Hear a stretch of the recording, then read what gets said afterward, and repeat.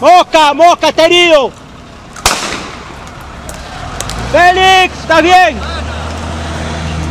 La guardia, ¿quién más?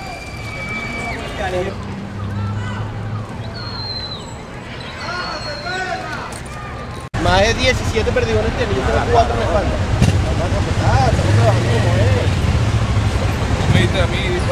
No, pero tú eres el capitán, tú eres el comandante, tú eres el que tiene que comandar y decir que la prensa tiene libre tránsito. Creer a ti lo que tú me estás diciendo. Yo no te puedo creer a ti lo que tú me estás diciendo. Los perdigones hablan, mira en la cara, en la cara un periodista tiene el perdigón en la cara. Bueno, compadre, pero acuérdate que usted está metido en la zona de la No, cantina. no, no, no, estábamos del otro lado totalmente solos. Y te lo estoy diciendo, tú sabes que el día, como el día que te vine a reclamar, pues, estábamos solos.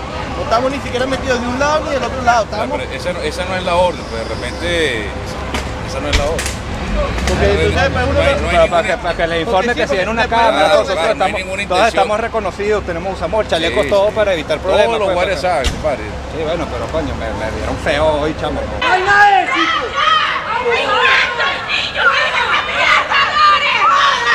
¡Dale, pues, dale! ¡Váyanse, váyanse! ¡Aquí no hay delincuentes! ¡Aquí no hay delincuentes! ¡Aquí no hay delincuentes!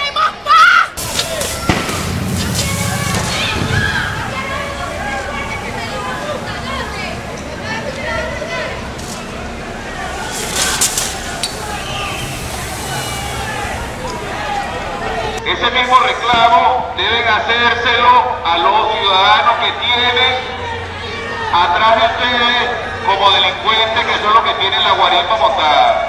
Esa misma intensidad de reclamo tienen que hacérselas es al personal de delincuentes que traen aquí a esta zona. En este momento son los ciudadanos de residencia Estado que trajeron los delincuentes. Es por eso que están en esta situación, no es por la Guardia Nacional Bolivariana, señores. No manipulen la información, no manipulen la noticia.